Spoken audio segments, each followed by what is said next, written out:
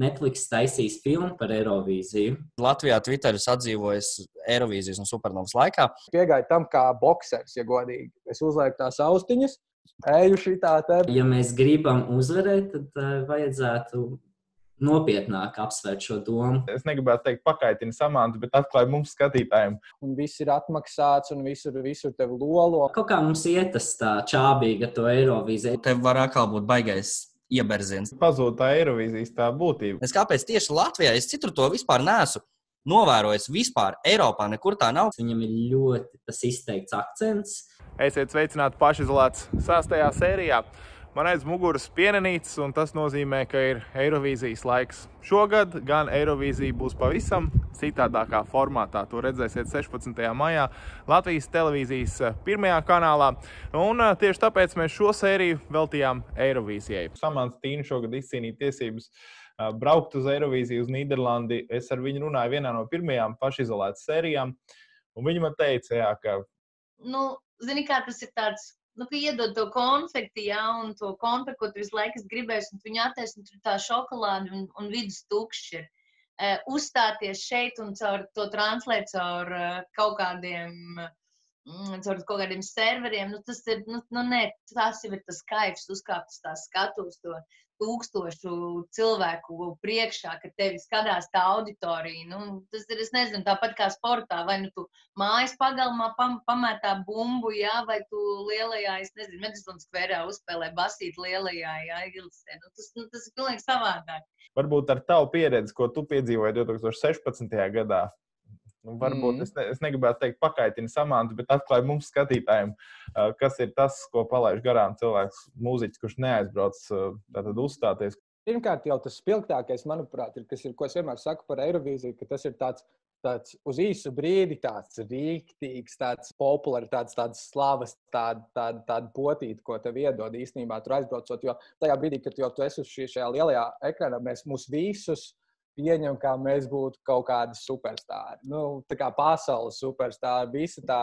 visa tā pietāta, ar kādu pie tevis iet, vai arī nu, visa tā nopietnība šim pasākumam, un, un sarkanais paklājs, un, un, un tas viss, un tev visur vadā ar mašīnu. Un, kā, un visu, tev ir pats savs cilvēks, kurš tevi no rīta līdz vakaram bez mazliet deliģē, kur tev kurā brīdī ir jābūt, un viņš ir tikai ar tevi, un viņš zina visus jaunumus, viņš tev pastāsta, izved visur cauri. Man liekas, ka tas ir tāds, kas, nu, protams, paliek aizkadrā. Bet tieši šī nopietnība, ka tu uz to tām divām nedēļām vari tiešām sajusties tā, kā tu būtu kaut kāds, nu, es nezinu, Justins Bībers. Varbūt ne gluži, bet, bet bez mazliet, ka tā ir tāda liela, liela lieta, kur, nu, protams, citam varbūt tas iepotais, viņš nevar tikt pāri, ka tā nav katru dienu, bet tajā pašā brīdī to izbaudīt uz pāris nedēļām, kad pat šajā brīdī tu esi viens no svarīgākajiem šajā visā pasākumā man liekas, ka tas ir viens no tām, viena no tām lietām, kas, kas nu, ko nevar citi nemaz saprast, jo viņi, jo viņi nav tur uz vietas skatoties vienkārši Eirovīziju. Tu ka tev izritini tur paklājiņu, paņem džipā jaunajā un ēd, un, kā, un viss ir atmaksāts, un visur, visur tev lolo, un lai tikai viss tev būtu tā tādam sportistam lielajam, lai tev viss tikai būtu, nu, tavam, viss tikai tev nolikts pie kājas, lai tev būtu viss vislabāk. Un man liekas, ka tas ir tāds liels zaudējums, to, to palaist garām. To. Kā tu novēro, varbūt, ja mēs skatāmies to sociālo tīklu vidi, kur cilvēki iesaistās un joko un, un kādu noniecina vai kādu paslavē, vairāk tas ir supernovas laikā vai vairāk tas ir reāli Eirovīz, lielā Eirovīzijas festivāla laikā? Nu, tādā ziņā abos, abos ir diezgan, diezgan liels. Nu, visvairāk tas notiek tieši konkrēti Twitterī. Ir, ir pat latviešu sakāmvārds, kad Latvijā Twitteris atdzīvojas Eirovīzijas un Supernovas laikā. Tāds tiešām ir. Tur ir vienkārši jūra ar tvītiem. Es esmu, man ir bijis tas gods arī sekot līdzi visiem, visiem tiem tvītiem un lai atlasītu labākos. Nu, tur vienkārši tas nav iespējams. Tur sekundē iebirst čupā veselā. Uh, Un, uh, tas, tas vien pierāda, ka, uh, ka tas ir, iedomājieties, tie ir tikai tie cilvēki, kurie, kurie ir Twitterī. Ja, ja vēl cik ir pieskaitīt cilvēks, kuri nav Twitterī un cik tur skatās šausmas, īstenībā ļoti, ļoti daudz skatās. Ir arī tāds nekur nepasludināts konkurss par uh, to, kurš labāko joku uzrakstīs par katru, par katru dziesmu. Tas arī ir labs veids, kā paskatīties Eirovīziju. Protams, tur ir ļoti liela daļa humora, un bez veselīga humora Eirovīziju skatīties vispār nav vēlams. Tur ir ļoti liela daļa humora. Ir daudz, daudz valstis arī, kur parāda netik labu sniegumu, un tas mēdz būt nedaudz uzjautrinoši. Mani kolēģi ieteica tevi, kādēļ? Tāpēc, ka tu esat ļoti, ļoti liels eksperts tieši Eirovīzijas jautājumos. Jā, nu, uh, varētu teikt, ka tagad ir tieši desmit gadi pagājuši kopš pirmās reizes, kad es ieraudzīju Eirovīziju televīzijas kanālā. Um, sākumā, protams, tā nebija uzreiz tāda ie, iekrišana mīlestībā, bet um, paskatījos, ieinteresējās, un nākamo gadu, 11. gadā, es jau sāku skatīties ar pusfināliem.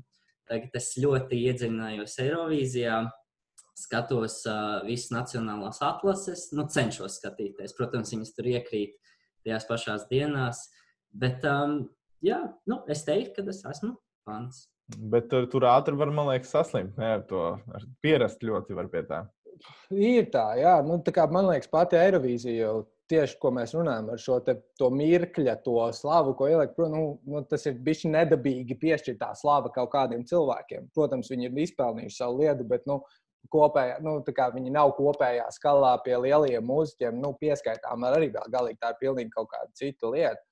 Un šī pote, ko tev iedod, protams, ir tāda riskanta. Nu, kā tu to pats ņem un vai tu spēj, vai tu spēj uh, saprast, ka tas ir tā, kā tas ir, un uh, vai tu pēc tam spēj saprast to, ka tas nebūs tā vienmēr. Varbūt tu vēl to tās pāris nedēļas pēc tam to aizbrauks Latvijā. Tur vēl tev viss, ja tev labi sanāks. Ja? Tev vēl beigās labi sanāks, tad aizbrauks Latvijā, tad tur tev vēl visi tā kā. Tā kā bišķiņa, zina, kā sitīs pa plecu un tā tālāk, bet um, saprast to, ka tas nebūs nebūs uz, uz mūžu un tā, kā, un, un tā tālāk. Tas ir tāds, nu, kā kuram, kā cik kurš katrs cilvēks spēj, spēj paskatīties no malas uz to visu. Es biju diezgan laimīgs, ka es varēju paskatīties uz to no malas un bija laba komanda. kas ir ļoti svarīgi. Varbūt kaut kādā brīdī bija kaut kāds nedaudz tāds, nu, nu tāds bišķiņš jau, kad ieslēdzās, varbūt uz brīdi, bet kaut kā man, pa, man pagadījās tā, ka es to sapratu un, un kaut kā tā mācīja, mācīja piezīmēt sevi, ka, nu, ok, šis ir forši, bet uh, jā. Skatījos daudz dokumentālās filmas par Eirovīziju un atklāju to pusi, ko parasti cilvēks ne, neatklāja skatoties to vienu reizi. Tu vari nedaudz atklāt, ko tu tādu esi atklājis saistībā ar Eirovīziju. Tas ir tas vairāk tas politiskais vēstījums, ko citas valsts grib izklāstīt ar savu dziesmu. Tas nav tikai tas jautrība un tāda. Tāpēc tas, tas ir viens no tiem aspektiem, kāpēc man patīk, ka tas ir vairāk tāds politisks pasākums. Bet no otras puses, arī uh, tas tādā veidā vieno mūsu eiropiešus ar citām valstīm. Man noteikti ir vairāk interesē paši priekšnesumi un arī varbūt kaut kādā ziņā prognozēšana, kā kurai valstī veiksies. Jā. Tā, nu es bieži esmu teicis, ka tā ir popmūzikas olimpiāde, kur, kur visas valsts cenšas jau parādīt pēc no vislabākās puses. Uh, Un, nu, tur ļoti liels ir tas politiskais faktors. Tur Armēnija ar Azerbaidžānu, tur uh, Vācija vienmēr iedod punktus uh, Albānijai un kas tur vēl ne. Uh, vienmēr var, nu, var, var jau prognozēt, kā tas viss beigsies. Bet uh, vienmēr ir kaut kādi pārsteigumi, pilni priekšnesumi, kuri, kuri ņem izraujās priekšgalā un pārsteidz visu Eiropu. Un tas, tas, tas, kas man patīk vislabāk, un nevienmēr ir jābūt lielvalstī, lai uzvarētu šādā pasākumā kaut kā, kaut, kā, kaut kā mums iet tā čābīgi ar to Eirovīziju. Es, es, man, man ir tāds aizdoms, ka mēs vēl neesam tik ļoti sapratuši, ka tā Eirovīzija ir tas um, unikālā reize, ka mēs varam parādīt sevi no tās muzikālās puses, ne tikai to, ka mēs, protams, esam valsts, kas dzied koros un, un, un dziesmu svētki, tas, tas viss mums ir, bet arī Eirovīzija, kas ir ļoti um, liels kā, mārketings priekš valsts. Mēs tā dabūjam arī um, turistus, mēs reklamējam savu valsti. Es domāju, ka tas arī tā ir tā problēma, ko mēs neapsveram, piemēram, balsojot par kaut kādu dziesmu mūsu nacionālā atlasē, kas liekas smieklīgi mums, bet uh, ārzemniekiem tā var ne, nešķist smieklīgi. Tā arī mēs paliekam tajā pusfinālā. Es domāju, Latvija noteikti var cerēt uz augstām vietām. Un tas sāksies tajā brīdī, kad Latvijas mūziķi sāks nevis rakstīt dziesmu priekš Eirovīzijas, bet vienkārši sāks sūtīt uz Eirovīziju foršas dziesmas, nav, kurām nav kaut kāds mistiskais Eirovīzijas formāts. Par to Eirovīzijas fanu pulku un, un tiem visiem blogiem un blogiem un to komunikāciju, kas notiek starp dažādu valstu tieši tādiem pazinējiem. Ko mēs Latvijā neredzam, tavuprāt? Es pats esmu Eirovīzijas lielākā fanu bloga Viviblogs pārstāvis Latvijā un reportēju viņiem, kas notiek pie mums. Un no viņiem ņemu ziņas un dodu Latvijai. Bieži vien kaut kas interesants notiek. Jā, nu, diezgan daudz lietas varbūt nenonāk līdz mums, tādas, ka visādas iekšējās peripētīs, kaut kādas intrigas, kāds ko, kaut ko organizators ir pateicis tam, uh, vai kur bijušas kaut kādas kļūmes pasākumā, bieži vien, vai, vai kaut kādi mazie skandāli Eirovīzijas laikā, kur kāds parādīs neīsto karogu. Tas varbūt dažkārt paslīd mums garām. Bet uh, kopumā, kopumā, man liekas, Latvija tiek diezgan labi informēta par pašu, pašu lielo pasākumu. Nu, protams, gribētos joprojām, jā, lai, lai nedaudz vairāk Latvija jūtam līdzi arī nedēļu pirms Eirovīzijas un jau varbūt zina, kāda dziesma būs katrai valstī. Tas ir manā ideālajā pasaulē. Protams. Ja brīdī, kad mēs rakstām šo interviju, tu vēl tikai gatavojies karantīnas Eirovīzijai, bet, kad uh, publicēsim šo video, tas viss pasākums jau būs noticis. Pastāstiet, varbūt, uh, kā radās ideja to organizēt un kas ir karantīnas Eirovīzija. Uh, ideja to organizēt radās kaut kā, kaut kā spontāni. Mums uh, trīs, trīs draugiem, es, Kārlis un Dāvis, mēs kaut kā sapratām, ka mums ir, uh, mums ir viss, lai mēs to izdarītu. Vajag tikai uh, sataisīt daudz failus, daudz, uztaisīt visu pašiem tā, lai izskatās maksimāli pēc Eirovīzijas. Un mēs esam rūpīgi pastrādājuši. Mums ir studija piekrauta ar datoriem, kamerām, gaismām un visu, lai izskatās pēc iespējas labāk. Mēs esam uzrunājuši Roju Rodžeru. Un mēs aplūkosim 12, 12 uh, šī gada dziesmas nu, no viņu nacionālās atlases fināliem. Tie priekšnesumi mēs viņus skatīsimies, komentēsim. Pēc tam skatītājiem būs iespēja balsot. Sveiks, Reinis! Sveika, Latvijas televīzija! Redzat, karantīnas disko notiek pilnā spārā. Mums ir rojas, mums ir ķilkits. Un tieši šobrīd Samanta Tīna pārstāv Latviju. Latvija! Latvija! Nu, vēlāk noskaidrosim uzvarētāju. Pasākums patiešām ir izdevies. Mums skatās tūkstošiem cilvēku visā Latvijā. Aizvadīties brīvdienās arī Latvija noskaidroja savu Eirovīzijas uzvarētāju. Līdzīgi kā citos interneta balsojumos uzvaras Laurus Plūce Lietuvas pārstāv The Roop ar dziesmu On Fire. Portāls Delfi raksta, ka 9. maija vakarā interneta pārraižu vietnē Twitch tika raidīts vietējo Eirovīzijas entuziastu veidotājs šovs karantīnas Eirovīzija. Par spīti tam, ka skatītājiem bija iespēja balsot par mūsu pašu samantu tīnu, viņa balsojumā saņēma 7 punktus un konkursu noslēdz dalītā 8. vietā. Kopumā tiešraidē pieslēgušies vairāk nekā 8000 skatītāju, bet oficiālais temturis karantīnas Eirovīzija saņēma vairākus simtus asprātīgu tvītu un kļuva par apspriestāko tēmu Twitterī, kas raksturīgi Eirovīzijas pasākumiem uh, bija doma Eirovīzijai um, vai nu taisīt tukšā arēnā savu šovu, vai nu arī translēt no katras televīzijas studijas. Bet uh, tur jau uzreiz izteica uh, pretenzijas par to, ka, kā piemēram, Zviedrija, kurai ir daudz naudas, uh, varētu pretendēt ar Latviju, kurai ir maz naudas, un nevarētu uztaisīt tik kvalitatīvu to video klipu tajās te, televīzijas studijā. Tāpēc tas priekšlikums jau bija uzreiz noraidīts. Lai gan Eirovīzijā godīguma princips arī ir tāds diezgan plašs stiepjams jēdziens, jo kam ir daudz naudas, tie iegrūž. Nu, Spānija vienu gadu virs miljonu iegrūda savā priekšnesumā, tāpat neuzvarēja. Nu, bet jā, ir tas vizuālais priekšnesums un uh, finansiālās iespējas bieži vien nospēlē kaut kādu lomu. Tagad ir jau sagatavošanās uz nākamo gadu, Un uh, jau daudzas valstis ir izteikušas, ka um, viņi sūtīs tos pašus uh, dzi, uh, autorus un, un, un, un, un dziedātājus. Tev var atkal būt baigais ieberziens tādā ziņā, jo viņi var nākt ar pēkšņi ar netik labu dziesmu. Tad, uh, man liekas, Latvijai noteikti ir jāsūta samantīna. Viņa ir pelnījusi lielo Eirovīziju. Pavisam noteikti tur nav divu domu. Nu, vienīgais, tad varbūt tur būtu jāiet tas uh, variants, tas Rumānijas variants, kur visi iesūta kaut kādas dziesmas, ko samanta izpildīt. Jo ar šo dziesmu viņi nevarēs piedalīties. Bet, ja, ja nu gadījumā viņi uzraksta pati vājāku dziesmu, tad Latvijā kaut tas var sāpīgi atmaksāties kaut kādā ziņā. Cerams, ka uh, visi, mu, visi producenti mūziķi saliks galvas kopā un uztaisīs samantai superhītu. Tu jau pirms tam minēji, ka tu šobrīd mācoties Lielbritānijā, to visu esi nolicis tā ir vēsture. Tu distancējies no tā, un nē, ir liela karoga, ka es esmu piedalījies Eirovīzijā. Bet tagad tik skaisti noraksturoja tās sajūtas, ko tur piedzīvo. Ja tev ir vēl viena iespēja, vai tu kaut kad brauktu un, un mēģinātu tikt uz Eirovīziju, vai tomēr ej jau tajā virzienā, kur, kā tu teici, lielie mūziķi, ka tas ir tā Eirovīzija, nu nav salīdzināma varbūt pilnībā ar to lielo mūzikas industriju. Man kā mūziķim no Latvijas visticamākais, manuprāt, tā Eirovīzija ir nu, ja ne vienīgais, tad, nu, es pat teiktu, ka viens no nu, gandrīz vai vienīgais ceļš, kā, kā parādīt, vismaz tā, uz tajās trīs minūtes, parādīties tajā pasaulē, trīs minūtes, un tad man kā tur būs vai nē, ir tāds liels, nu, nacionāls, starptautisks, starptautisks kā, notikums vai ceļš, kā kaut kur izsisties. Tāpēc es arī uz to skatos tā, ka no Latvijas skatu punkta tam ir jābūt tādam, ka nu, jādod citiem ir iespēja. Nu, tie, kas to vēl nav, iz, iz, man tā iespēja bija. Viņa bija diezgan laba, un es saņēmu arī diezgan daudz no tā atpakaļ. Man joprojām ir ļoti daudz Eirovīzijas fani, kas man kat, nu, bieži vien raksta un atbalsta mani. Un es zinu, ka viņi būs ar mani kopā, un viņiem joprojām patīk kā, gan manas uzstāšanās, gan tas, ko es daru tagad.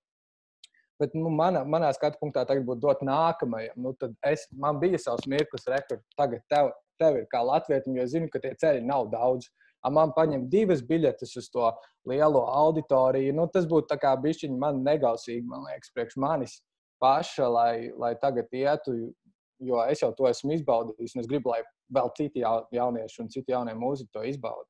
Daudzi sūta speciāli jaunos, lai viņiem tas būtu kā tramplīns viņu karjerā. Dažiem tas tiešām arī palīdz. Varbūt rēts ir tie gadījumi, ka kļūst par tādu uh, starptautisku zvaigzni. Tieši pateicoties Eirovīzijai, tas ir, tas, ir abu prāta vētra un varbūt vēl pāris.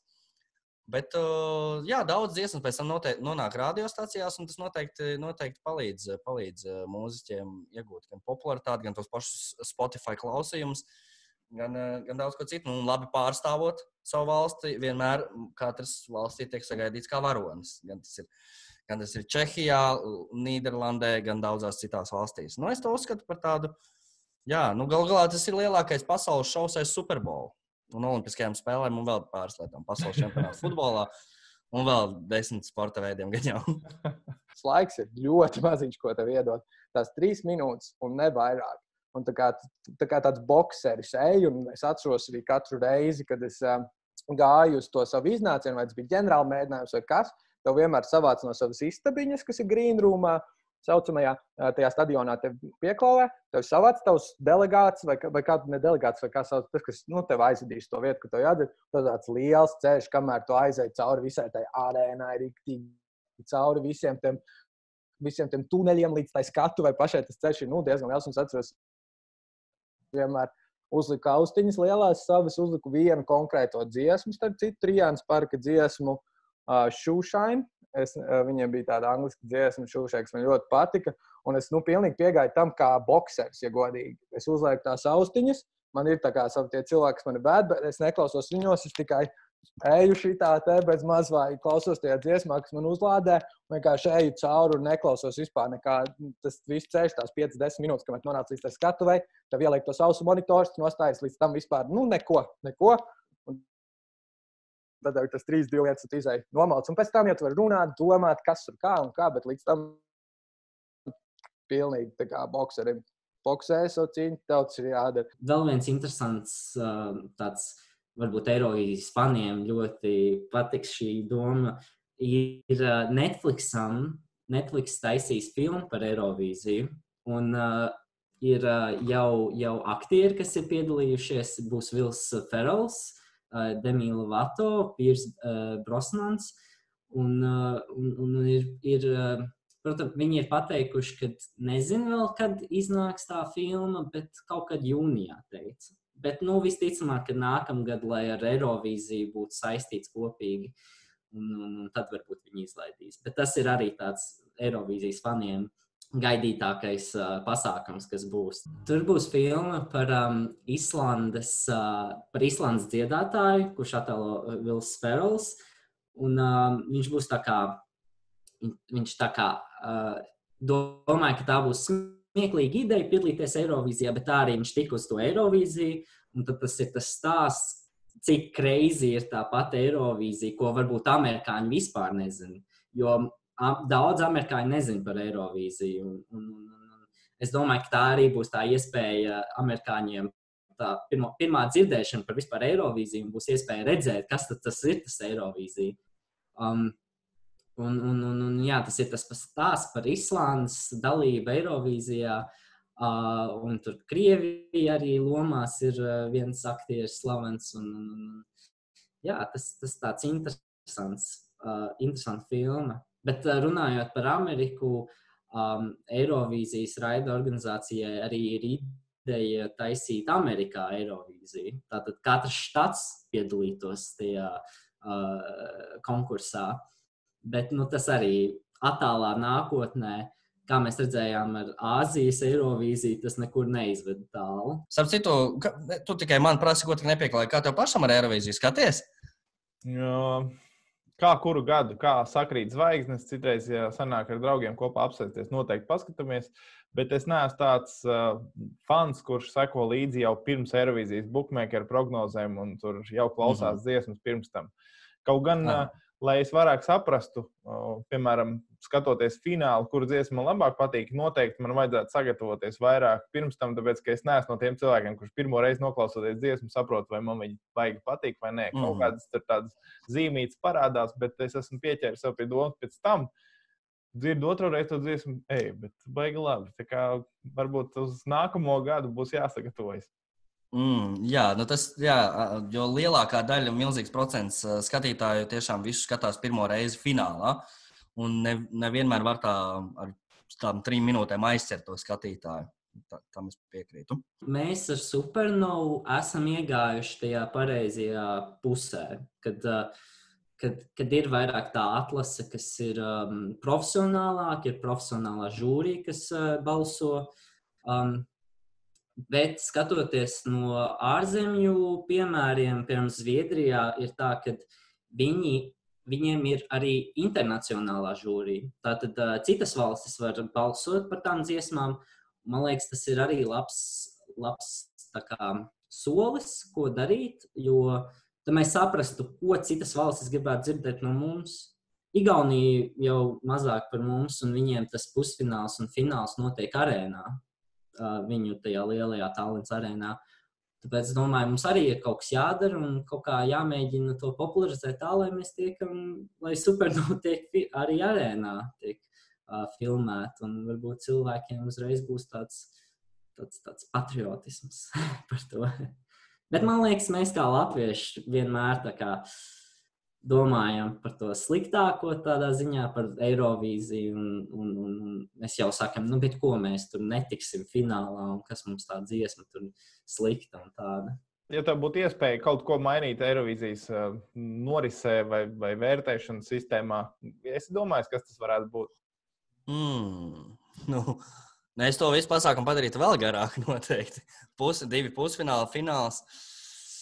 Nu, man liekas, ka tur viss ir tik skaisti, ka tur pat neko nevar iedomāties, ko tur varētu labot. Ah, viena lieta gan es gribētu. Es gribētu, lai Latvijas ā, sabiedrība vairāk interesētu par pašu Eirovīziju. To, to gan gribētu. Es daudz vienmēr uzskatu, ka es kāpēc tieši Latvijā, es citur to vispār neesmu novērojis. Vispār Eiropā nekur tā nav, ka, ka Eirovīzija tiek uzskatīta par tādu, nu, tādu joku pasākumu. Latvijā tas, ā, tas tiešām bieži vien ir. Citur tas tiek uzskatīts par tiešām ļoti nopietnu pasākumu, kā tas notiek Zviedrijā, Melodija festivālā. Tas ir ārprāts, tas vienmēr notiek arēnā. Tur nāk desmit tūkstoši cilvēku, fano un visa valsts mēnešiem tur īkšķis par to visu.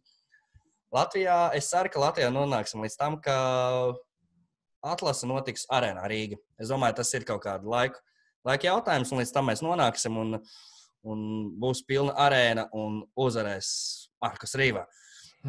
Citas valstis, piemēram, vairs netaisa savas nacionālās atlases, bet viņi izvēlās uh, dziesmu caur konkursu, kas ir tā kā uh, pasaules konkurss. Jebkurš dziedātājs ar jebkuru dziesmu var iesūtīt to dziesmu, un tad uh, tikai žūrija izlemj, kura dziesma tiks uh, ar, ar to dziesmu uz Eirovīziju.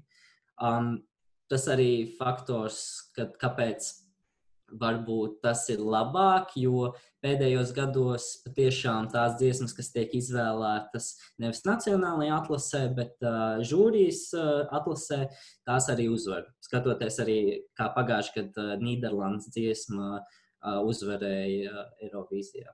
Daudzas valstis iet, šo, iet to ceļu, kurā viņi ļauj uh, Zviedru producentu armijai ienākt viņu, uh, viņu atlasē. Jo pašā Zviedrijā tā atlase ir nu, tik milzīga, tūkstošiem dziesmas tiek iesūtīts. Un tur tas pats čalis, kurš pārstāvēja Igauniju, viņš jau daudz gadus mēģina Zviedriju pārstāvēt. Viņš nekad, protams, netiek, ka tur ir milzīga konkurence, viņš tiek dažreiz finālā.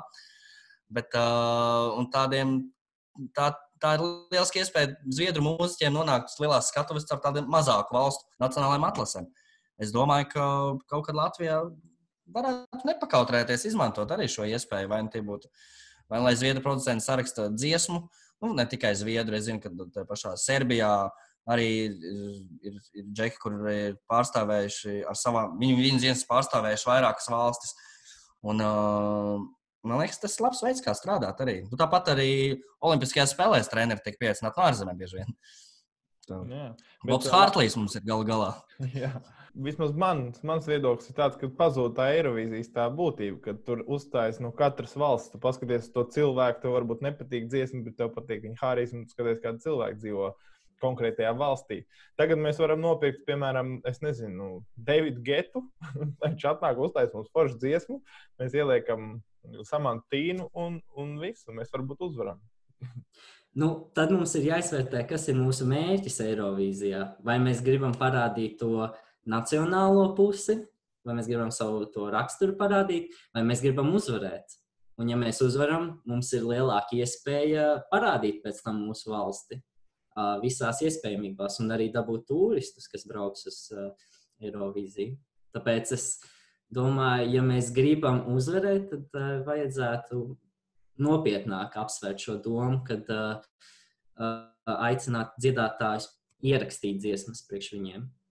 Tajā auditorijā, kas tur ir, un tā, tā, tas viss burziņš, nu, cik es esmu redzējis, es neesmu bijis klātienē, bet man liekas, viņš ļoti labi iederētos. Tur uh, varbūt vienkārši vajadzētu ļoti labu dziesmu, un mēs varētu cerēt uz uzvaru.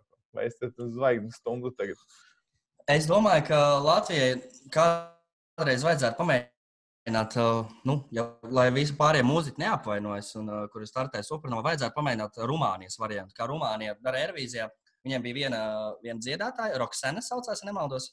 Viņa, viņa vienkārši izpildīja finālā piecas dziesmas, viena pati, citu sarakstītas dziesmas, protams. Un uh, skatītāji vienkārši balsoja, kura no tām dziesmām ir viņai piemērotākā, kura ir labākā.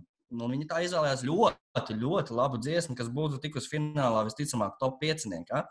Un, uh, varbūt šis ir tas veids, ka vienkārši supernovai kādu gadu jāpamēģina uztaisīt dziesmu autoru konkursu, un viss viņas izpilda Markus Rīva. Jo man baigi daudz šaubu nav par to, ka Markus Rīva mācētu sevi prezentēt ļoti labi uz lielās skatuves.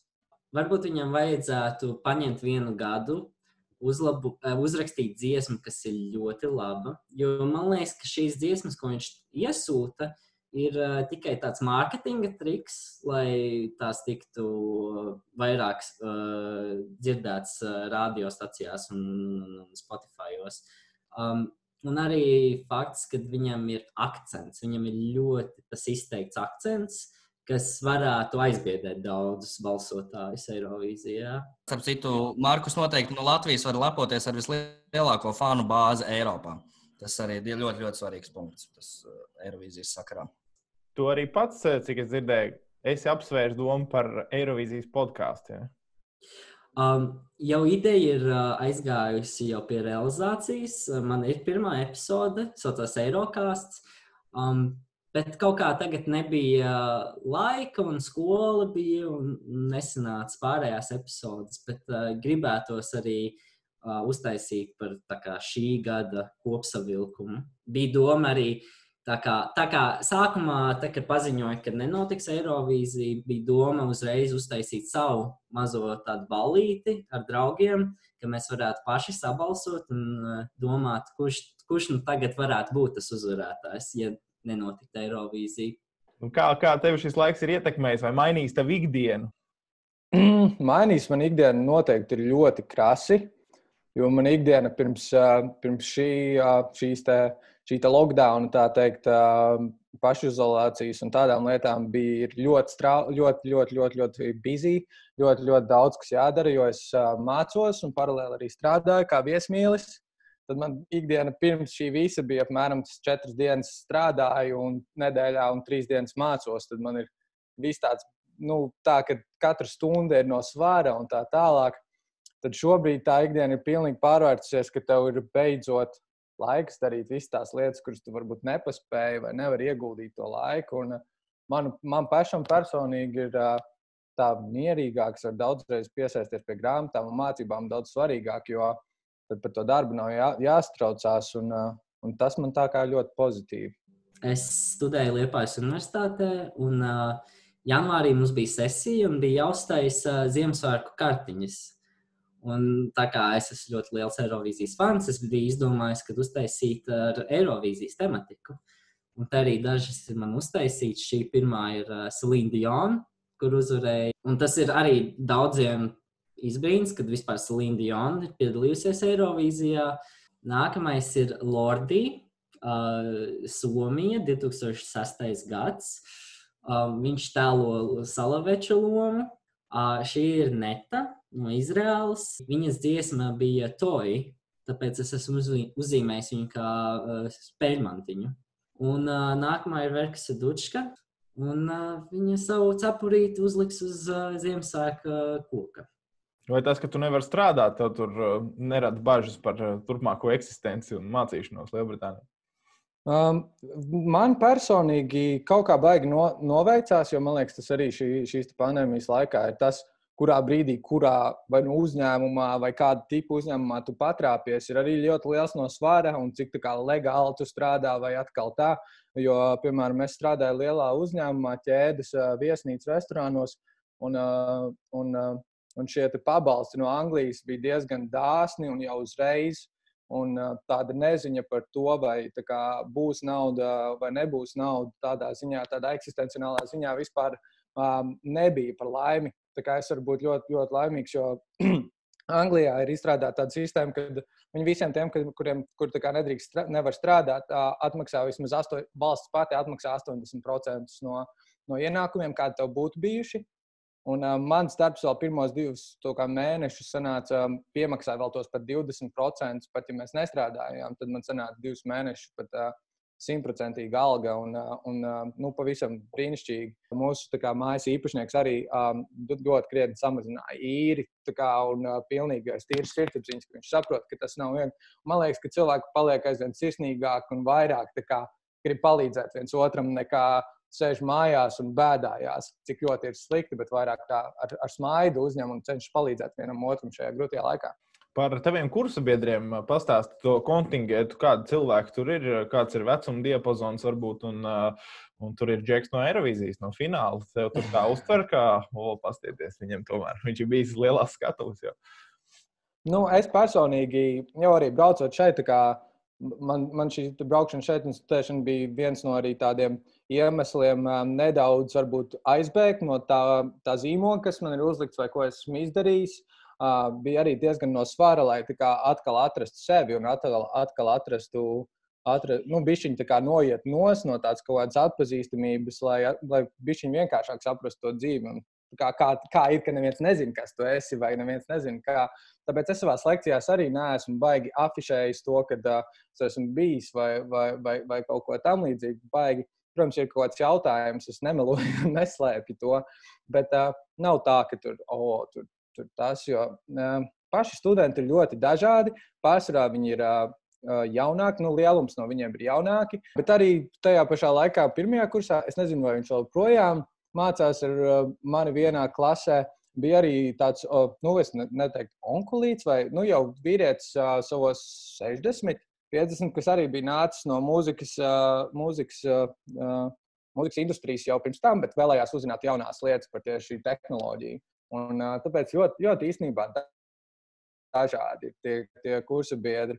Man patīk tā tā aizrautība saistībā ar Eirovīziju, bet es domāju, ka tas neapstāsies pēc gadiem, pieciem, desmit arī. Kas būtu tā lieta, varbūt, ko tu gribētu sasniegt tieši Eirovīzijas sakarā un kur tu gribētu nokļūt? Uh, nu, tagad tuvākais sapnis ir nokļūt pašā Eirovīzijā, pašā koncertā, būt finālā arēnā un, un, klausīties tādas dziesmas. Tas būtu tā tas tuvākais sapnis. Protams, es esmu domājis, kā būtu arī strādāt uh, Eiropas raida organizācijā un, un, un uh, varbūt arī būt tas galvenais, uh, kas, kas, kas, kas atbild par Eirovīziju. Bet uh, arī, arī ir sapņi par to, ka varētu kaut ko saistīt ar, uh, ar, ar dizainu un datorgrafiku, jo es tagad mācos par datorgrafiķi. Un tāpēc es domāju, ka kaut kas ar to saistīt, ka varētu uztaisīt logo nākamā gada. Tas, tas, tas būtu mans sapnis. Tā kā taisīt logo, taisīt visus tos brandingus priekš Eirovīzijas. Nu, es tev novēlu atrast darbu nākotnē, Eirovīzijā, un turpināt ar tikpat lielu aizrautību. Un tad arī palīdzēt Latvijai uzvarēt ar kādu labu padomu. Paldies! Skatieties koncertu Shine a Light 16. datumā LTV kanālā. Paldies par reklāmu. Lai Covid-19 nevibrētu mūsu nācijā, es jums teikšu, draugi mīļie, mums jābūt pašizolācijā.